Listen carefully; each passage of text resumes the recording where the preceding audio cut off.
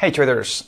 As a Global Prime client, you now have the ability to trade through TradingView. In this quick tutorial, I'm gonna walk you through how you can get easily set up. It's a very straightforward process. So without further ado, let me walk you through the different steps that you have to follow as a client of Global Prime. First of all, you wanna be selecting trading panel. Now, by default, Global Prime is not going to be, the logo is not gonna be showing. So you wanna be clicking on the bottom right hand side show all available brokerage firms and Global Prime as the top and highest rated brokerage firm in TradingView is going to be coming up here at the very top so just select connect. Now here you're gonna be filling out your uh, the different uh, spaces, uh, empty spaces initially with your login details. Once you do so, mine have already been filled out automatically. And uh, so you click on connect and uh, within five to 10 seconds, real quick, that's gonna, that's how long it's gonna take. You're gonna be landing on your individual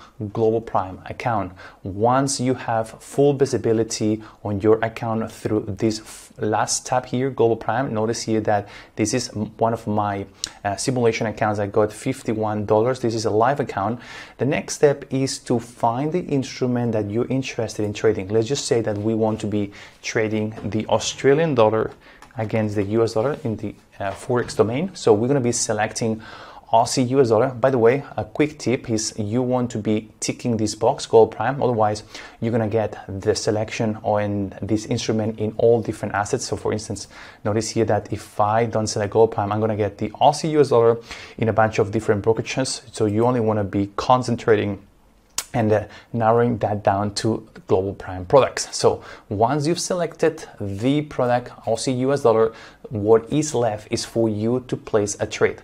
Now, in order to place trades in TradingView, it is a very you know straightforward, seamless process that all it takes is just come all the way down to this right column and select order panel. And in order panel, you will notice that you have a series of numbers, informations, and categories such as entering an order through a market type entry, limit entry, stop or stop limit. Let's just say that we want to enter 0.01 lots on a market order. Here you got the option of selecting take profit and stop loss. So now the Aussie US dollar sits around 0.7340. So let's just pretend that we want to be long at market with a take profit of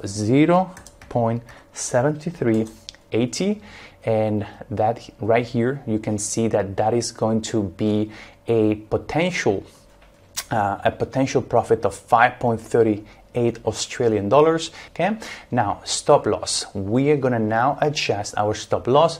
Let's just say that we want to place it at 0.73 20. So that would be a 5.35% versus 10.61. So right here you can get, you know, easily the visuals of how much you're going to be risking and the potential reward and that comes around, you know, ballpark number about 2 to 1 risk reward. Now you're gonna get also the information in terms of the leverage of your account, the trade value, and so forth. And what is left as a final step is placing the order. So let's just click on buy. The order of market uh, entering at market would be completed. You will get a notification on the left side of your chart and that's about it. Now your position will show on this lower panel in positions. Now, you notice that you've got an extra two orders that have been linked to that market order, and that is one that includes the stop order. That's where your stop loss, where you have decided that your trade is going to be invalidated, and the other is a sell limit, which represents your take profit target. Okay, hopefully this video has been useful, and uh, I'll see you in the next one. Cheers.